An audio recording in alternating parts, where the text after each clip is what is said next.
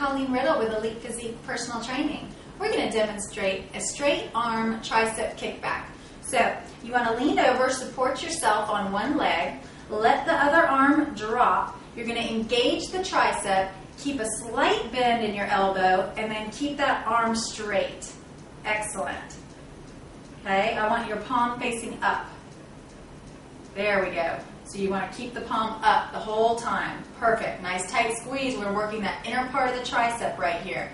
Key is controlled here. There you go. Good job.